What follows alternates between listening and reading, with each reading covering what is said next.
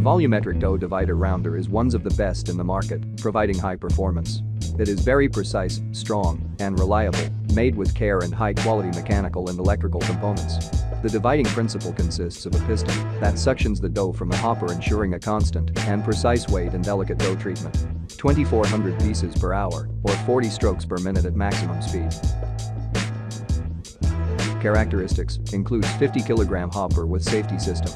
The machine can divide dough with a water content between 50% and 65% with rounding mechanism. Programmable piece counter. Closed loop oiling system with minimum consumption. Maximum weighing error 2% for unfermented fresh dough. Mechanical flour duster. Stainless steel covers.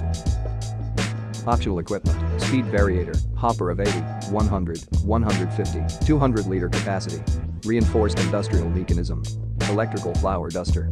Remote control. Motorized digital weight regulation, exit conveyor belt with independent motor, possibility of doubling the maximum weight, flour sifter with motor.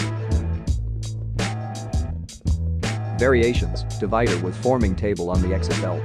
Allows the molding of the divided dough piece into a bar of bread. That's like having two machines into one.